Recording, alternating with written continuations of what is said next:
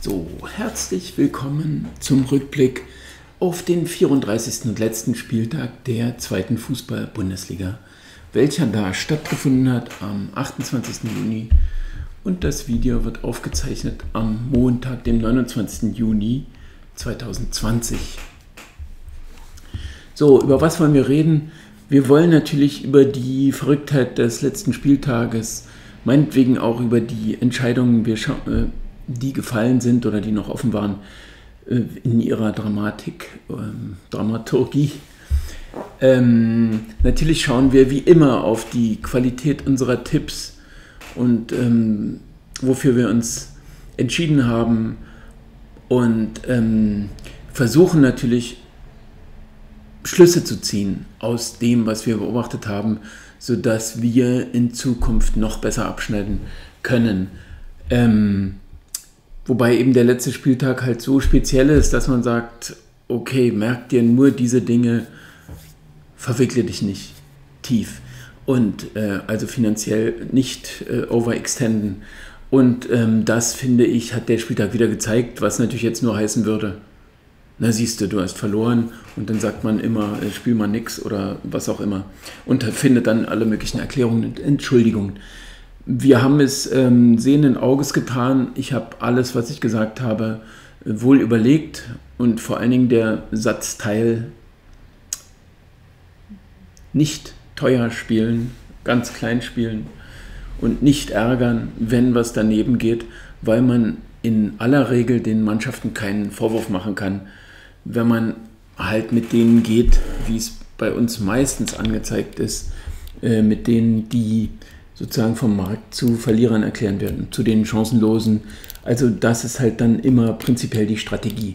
Gestern im Einführungsvideo habe ich ja so ein paar Dinge äh, auch mal erklärt in diese Richtung und das möchte ich gerne auch noch ausweiten, weil ja nun auch äh, etliche neue Abonnenten dazugekommen sind, die dann eben äh, vielleicht äh, sich über diese Einführung nochmal ein bisschen ähm, herantasten können, noch näher. Und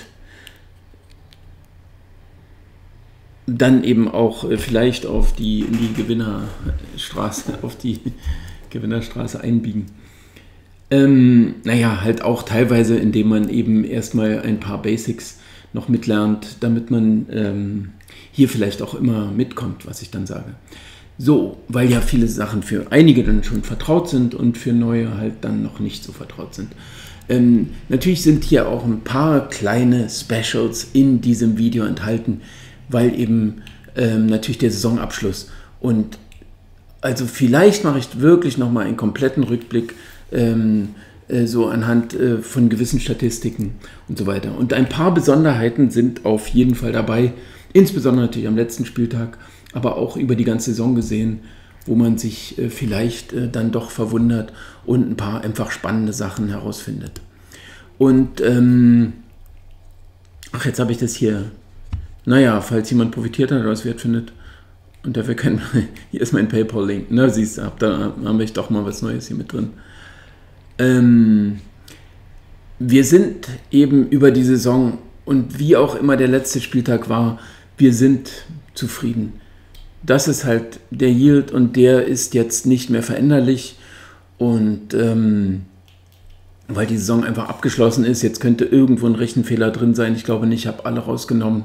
Ich habe alles mehrfach geprüft und ähm, glaube mal, das ist in Ordnung. Das Einzige, was jetzt meinetwegen nicht stimmt oder gar nicht im Einklang ist, das wäre natürlich, also am letzten Spieltag ist es besonders auffällig, aber an vorhergehenden Spieltagen ist es natürlich auch gelegentlich passiert, dass ich Kurse herausgeschrieben habe zu einem Zeitpunkt ähm, äh, und nicht gleichzeitig das Video gedreht habe, was eben nicht möglich ist. Versuche es ja jetzt über das Twitch, was wir vielleicht auch gleich noch sehen werden, äh, dass ich eben, dass man dann eben möglicherweise live die Wetten macht. Und dann ähm, versuche ich natürlich trotzdem möglichst originalgetreu die Quoten. Aber da kann es eben gelegentlich Verschiebungen geben, sodass eben nicht jede Quote, die hier aufgezeichnet ist, die exakt der entspricht, die ihr bekommt. Und das ist natürlich eine kleine Verschiebung. Auf der anderen Seite habt ihr natürlich jetzt die Bewegungsfreiheit, äh, sagen wir mal, Einheitenhöhen, weil hier ist alles nur mit einer Einheit gespielt.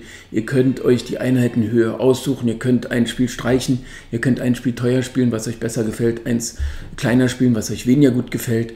Abhängig natürlich von der Quote, eine steigende Quote. Naja, gut, das gehört schon wieder jetzt in ein Tutorial, dass man sich über steigende und fallende Quoten und sowas Gedanken macht. Aber diese Steuerungsmöglichkeit sollte euch natürlich die Chance geben, ähm, äh, noch, eigentlich noch etwas besser abzuschneiden als das. Also von daher, wir sind rundherum zufrieden. Und ähm, wir schauen mal jetzt im Einzelnen hier auf die Ergebnisse, die wir natürlich schon im Wesentlichen äh, kennen, also wo es halt keine besonderen Verschiebungen gab. In der ersten Liga ist es jetzt sogar halt dann nochmal ein bisschen raufgegangen. Ähm, äh, ich hatte ja immer davon gesprochen, dass ich halt am liebsten natürlich erste und zweite Liga im Einklang hätte. Aber alles kann man sich da auch nicht aussuchen. Solange bei beiden noch ein Plus rauskommt, äh, kann man eben nicht sich beschweren, sowieso nicht, aber auch äh, halt einfach dann zufrieden sein und jetzt das auch mal ruhen lassen. Natürlich, also wir können noch ein bisschen analysieren, Rückblick machen und so weiter, aber die Bilanzen stehen dann erstmal und dann sagt man, okay, also zumindest haben wir keinen Grund, es nächste Saison nicht wiederzumachen. Also wer jetzt von Anfang an dabei war, wer natürlich äh, nur dazugekommen ist oder so, da sehen wir jetzt auch gleich noch eine Statistik, wie es sich so entwickelt hat über die Saison. Da kann man natürlich auch schlechte Momente abpassen oder halt auch äh, nicht nur in einer schlechten Phase, sondern dann auch noch schlechte Entscheidungen treffen. Gestern beim äh, Twitch im, im das war halt schon vorher, äh, hat der Mensch angekündigt, also dass ihr auch mal seht, dass da ein bisschen lebhaft ist. Für die, die noch nicht vorbeigeschaut haben, die sind natürlich herzlich eingeladen. Man hat eben ein bisschen andere Möglichkeiten, auch wenn es dann manchmal sich vielleicht ein bisschen mehr streckt, aber da soll natürlich mehr Unterhaltung drin sein. Aber es gibt äh, gute Gründe auch äh, in dem Twitch-Stream, wie gesagt, weil wir auch einfach live auch manchmal in der Community die Wetten ausarbeiten für die am Tag anstehenden Spiele. Ich werde nachher auch einen Stream wieder machen. Aber ähm, da war halt die Bemerkung, äh, wo dann einer gesagt hatte, er nimmt HSV, äh, schießt viele Tore. Ähm, und ähm, ich will ja sowieso niemandem da reinreden oder soll jeder verantworten. Bloß bei uns war eben einzig und allein Sandhausen und das war ja dann meinetwegen von der Liga sogar das beste Spiel. Ähm, äh, egal wie man da jetzt mit HSV auch sogar mitfühlt oder das Derby verweigert ist oder so. Aber dann sage ich natürlich, solche Möglichkeiten hat jeder. In dem Falle ging es halt daneben. Aber da kann man natürlich auch absolut seinen eigenen Gedanken, weil es auch am letzten Spieltag natürlich dann ein bisschen speziell ist. Also da ist dann noch mehr Grund, äh, vielleicht, ähm, wie ich es ja auch vorher angesagt hatte, ähm, hat man noch mehr Anlass, ähm, sich nicht unbedingt an den Zahlen sondern an Überzeugung zu orientieren. Wir können ja nachher sogar noch sehen, wie die Spiele verlaufen sind. Hier habe ich jetzt mal aufgezeichnet, halt in dem Verlauf über die Saison. Und äh, es war eben tatsächlich kurz am 25.08. war einmal kurz Minus. Was jetzt aber an einem Spieltag, also hier sind ja die Wetten einfach nur chronologisch aufgezeichnet, äh, kann natürlich an einem Spieltag und am gleichen Spieltag wieder hochgegangen sein.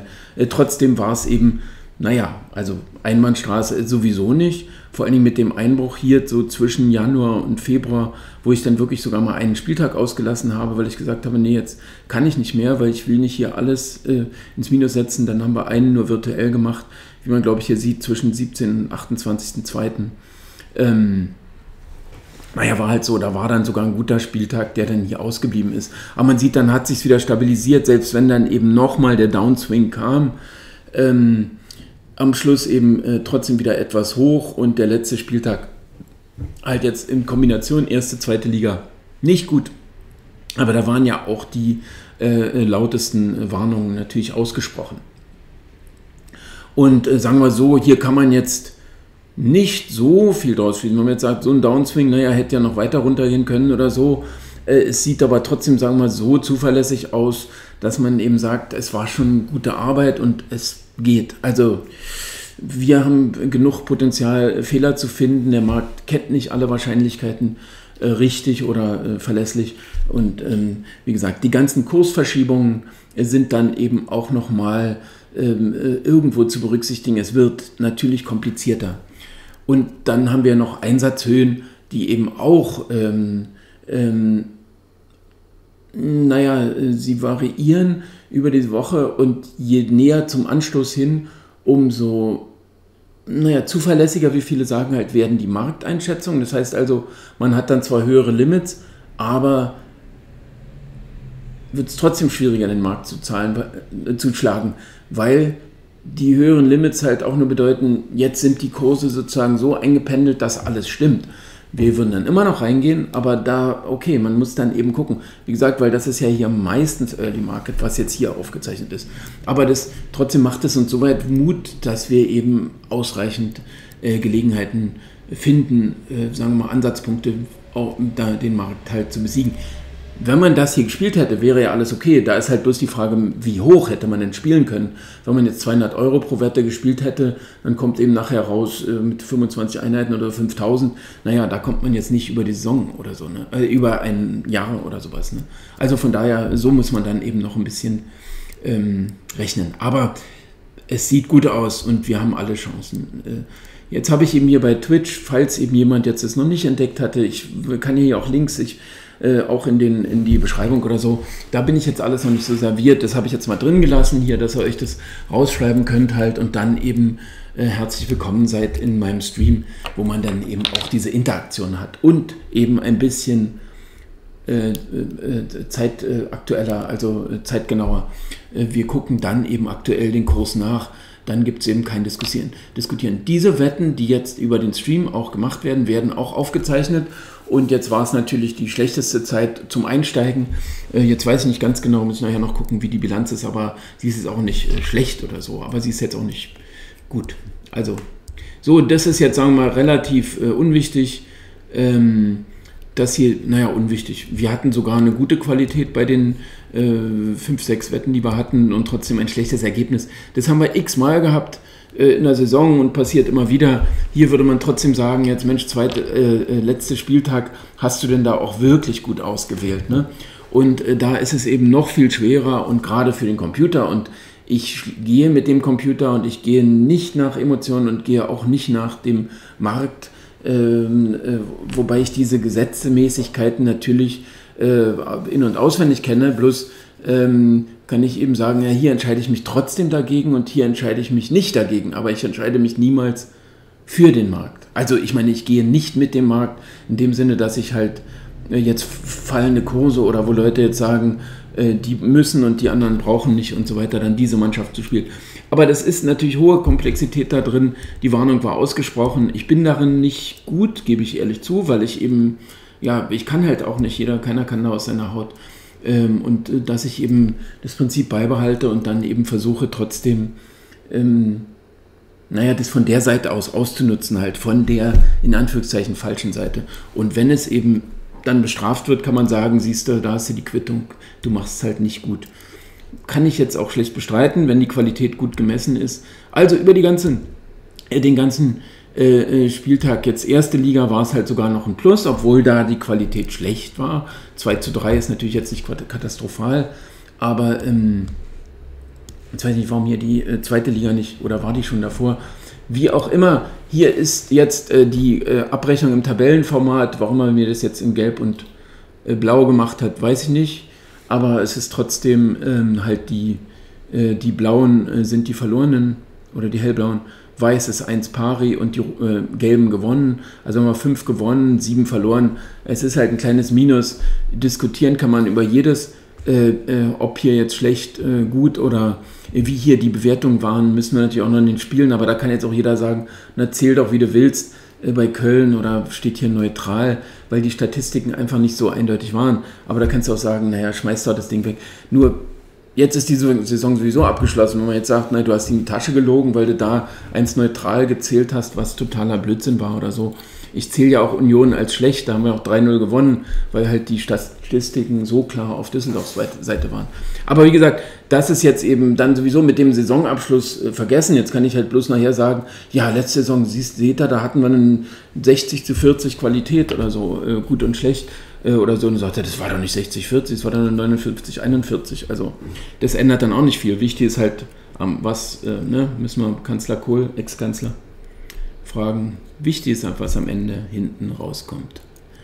Und ähm, so, also jetzt schauen wir nochmal auf die Ergebnisse äh, des Spieltags und ähm, wir erinnern uns natürlich jetzt sowieso an alles und es ist dann auch schon wieder meinetwegen egal, History, äh, weil man eben, naja, wenn es keine Fortsetzung gibt der Liga, äh, dann äh, ist doch jetzt egal, wie es war. Jetzt macht das Buch endlich zu, das war's. Ähm, wir schauen halt trotzdem hin, auch in der Absicht für die Zukunft besser zu werden oder so. Ne? Und ähm, sagen wir mal, das Fürth jetzt verliert. Ich habe da vielleicht auch genau hingeguckt oder versucht und die Statistiken war alles okay bei Fürth. Und ich würde sagen, also das war ihm nicht geschenkt, auch wenn dann, das war ja dieses Drama in gewisser Weise, wobei Nürnberg ja eben jetzt noch nicht abgestiegen ist, aber dass sie dann alles nach vorne geworfen haben und halt nicht, die Parallelspiele muss man eben beachten, Karlsruhe hat es halt geschafft, Nürnberg nicht. Karlsruhe ähm, hätte es ja nichts genützt, wenn Nürnberg noch das späte Tor gemacht hat. Da war ja Karlsruhe schon abgepfiffen, wobei es dann ihnen sowieso nichts genützt hätte. Ne? Also, ähm, ich meine jetzt auch nicht, dass sie höher hätten gewinnen können und das dann irgendwie genützt hätte. Aber ähm, äh, Nürnberg hat das auch verdient gehabt, aber äh, daran sieht man eben, dass vielleicht doch normal gespielt wurde. Ne? Das Hannover-Bochum war auch ein ganz normales Spiel, aber für uns vollkommen unbedeutend. Wen St. Pauli war einfach offensiv geführt. Klar, immer dieser Abschied von den Heimfans, den hätte ich voll und ganz akzeptiert, dass es da äh, das kleine Plus für die Heimatstadt gibt. Plus sind ja keine Fans da. Trotzdem hat Wien halt genau so gespielt und Dresden eigentlich auch gegen Osnabrück. Also wo halt, also Hannover gegen Bochum war eben jetzt wieder in die andere Richtung, äh, wie wir nachher in den Statistiken sehen. Aber ähm, hm, naja, jetzt würde vielleicht in der Summe rauskommen, dass die Heimmannschaften doch ein bisschen mehr gemacht haben. Ähm, naja, Quatsch, wir haben am Schluss halt 17, 18, auswärts war vorne, wobei halt hier Freak-Ergebnisse dabei sind. Aber äh, in der zweiten Liga war es ja nicht so auffällig, auch nicht nach Corona.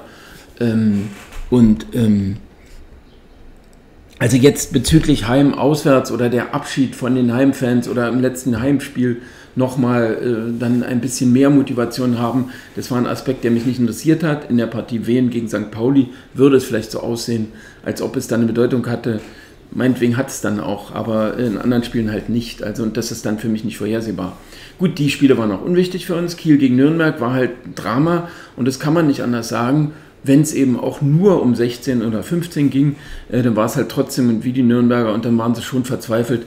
Und was da für ein Chancenfestival nachher war, und da hatten wir halt das Over, also das war unfassbar. In der Nachspielzeit äh, habe ich gesagt, dann im, im Twitch-Stream auch, für mich ist immer noch die Chance 50 Prozent oder ich hatte das Gefühl, das Tor fällt auf jeden Fall noch. Pfostenschuss hier, Kopfball da, Latte knapp drüber. Es war alles vertreten, wir haben das Tor nicht bekommen.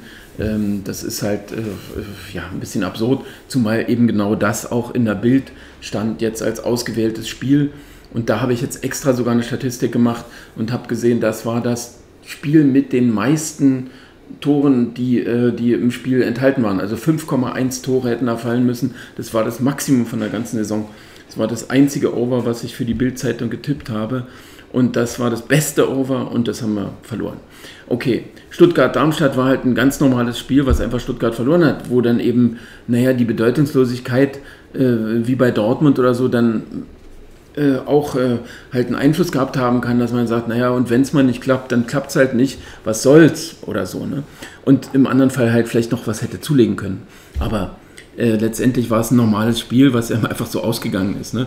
Und HSV Sandhausen ist natürlich äh, absurd, nur eben auch trotzdem dann die Bestätigung, ähm, naja, dass eben viele normal oder dass eben nicht das, also normal spielen, aber dass eben nicht das ähm, von allen erwünschte oder herbeigesehnte äh, Ergebnis oder was auch immer, dass da dieses Nordderby jetzt findet, dass es eben nicht kommen muss und dass einfach sich manche und gerade die Kleinen manchmal dann eben insbesondere nicht darauf einlassen oder so und sagen, wir spielen einfach unser Spiel.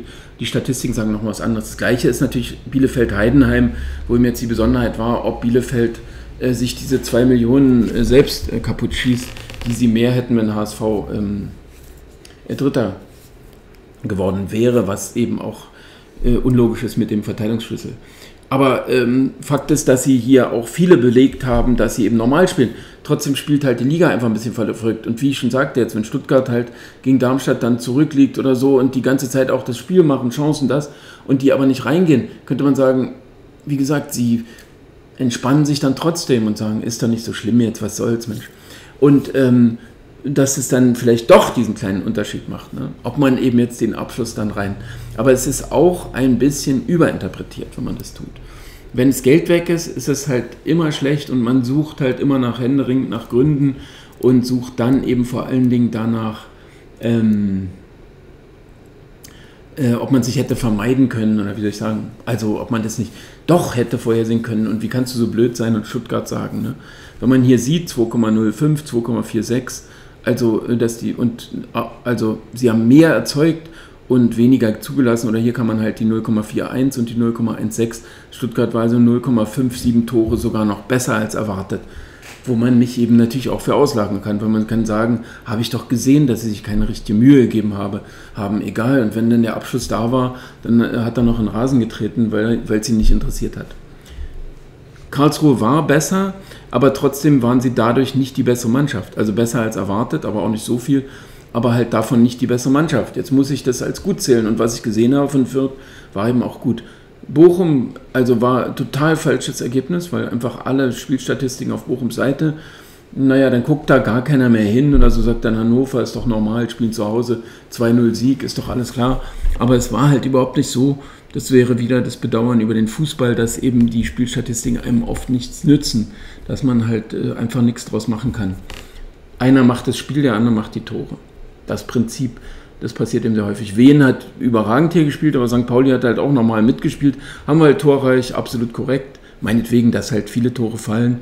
Äh, nicht, dass man es hier nur daraus ablesen kann, bloß da kann man auch ein bisschen daraus ablesen, dass sie vielleicht gar nicht so doll verteidigen und dann ist es natürlich einfacher, Tore zu schießen. Sprich also die 2,68 sind unterbewertet aufgrund einer für das Spiel höheren Conversion Rate, weil die Abwehr da einfach nicht richtig gegenarbeitet ähm, und eben auch nicht äh, jetzt fault und so, was eben dann auch ein ganz wichtiger Aspekt ist. So, Dresden hat sehr gut gespielt, Osnabrück war auch normal, aber es war halt ein klares Plus für Dresden. Hätten sie verdient gehabt, hat Osnabrück noch einen späten Ausgleich. Äh, Regensburg gegen Aue äh, hat Regensburg auch äh, die Überlegenheit und die anderen haben das Ergebnis. Ähm, auch wieder so ein Beispiel halt, wer besser ist, verliert, so ungefähr. Kiel hat halt massiv äh, natürlich nach vorne und es war lange Zeit auch toll, hat mir wirklich gefallen, wann immer ich was gesehen hatte in der Konferenz, obwohl wir hier sogar im Stream waren, aber ich habe äh, dann so viel rübergeguckt, naja, dann ist der Stream vielleicht nicht so gut. Aber jedenfalls ähm, irre nach vorne, aber was Nürnberg nachher an Chancen und das nach vorne, alle Mann und äh, immer noch eine Flanke, noch ein Schuss, das Kopfball, äh, es war alles da und sie hätten einfach das Tor verdient gehabt, man kann ja nicht anders sagen. Und wenn sie dann auf den Boden fallen, ist es halt, würden sie auch beim normalen Ligaspiel, man einfach sagt, kann doch nicht sein, jetzt haben wir da wirklich alles reingehauen, alle Chancen, das, drei Tore, das hat ja nie einer. Und deswegen sage ich ja 2,1 zu 3,01, das ist ja bei Bayern, also war es gestern 3,11, aber das ist halt eine absolute Ausnahme, also dass man so viele Chancen hat. Die sind ja bei mir aufgerechnet auf, auf ähm, Flanken, ähm, äh, Schüsse on and off und äh, Ballbesitz und äh, was halt alles damit eingerechnet ist. Äh, und äh, trotzdem ist es halt dann ähm, viel, sehr viel gewesen. Stuttgart hatten wir schon. HSV kann man hier auch nichts vorwerfen.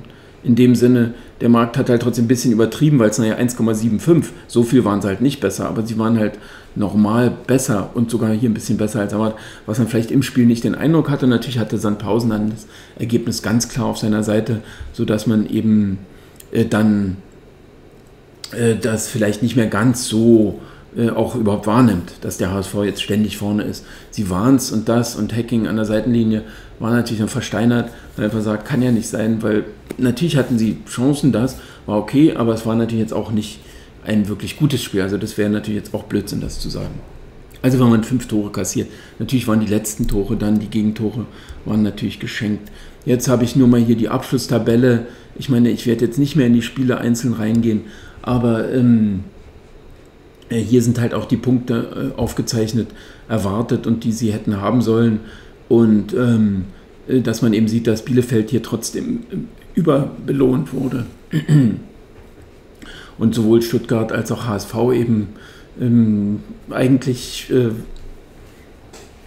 hier äh, gemeinsam so im Brust voraus über die Ziellinie. Also Stuttgart hätte, sagen wir mal, ähm, eine Augenbraue, nee, es geht ja nur Brust, Brustwarze vorgehabt.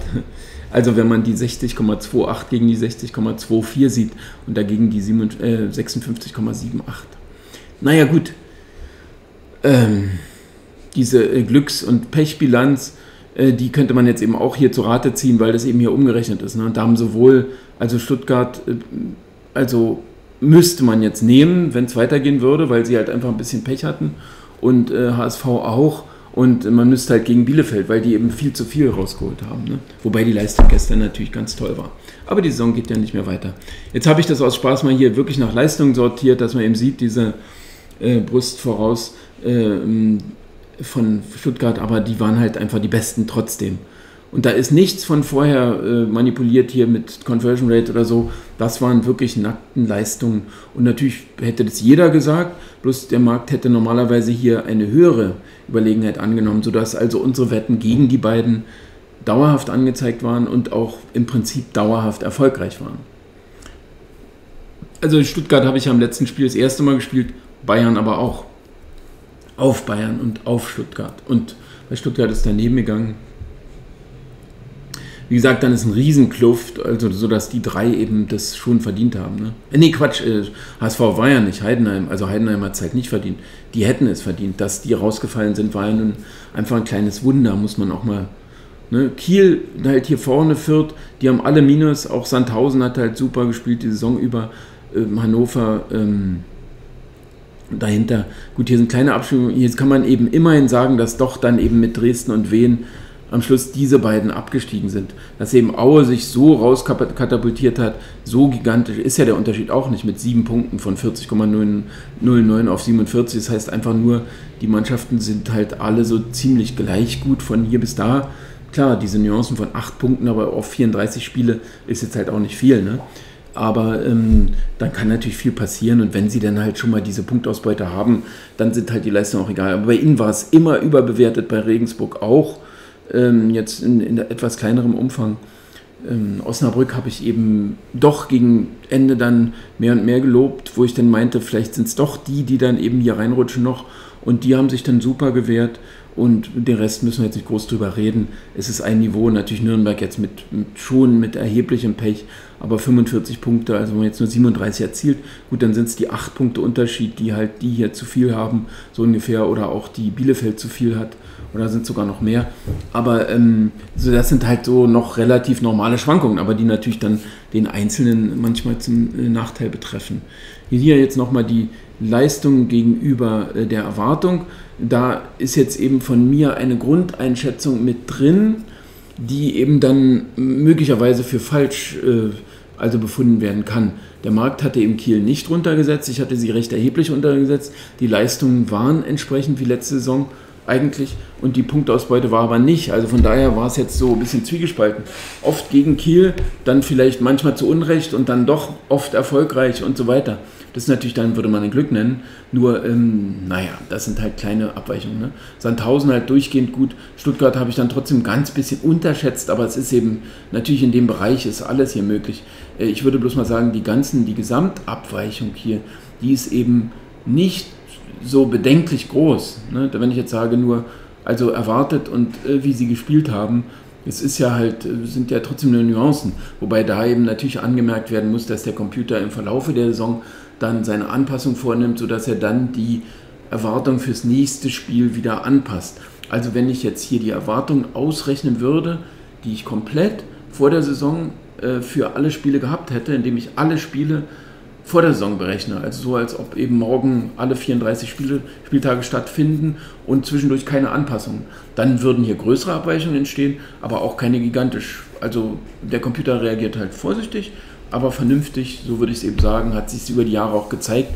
Aber das haben halt auch meine Datenanalysen bestätigt, die ich natürlich an anderer Stelle vielleicht mal erklären könnte, die aber jetzt natürlich hier definitiv den Rahmen sprengen würde.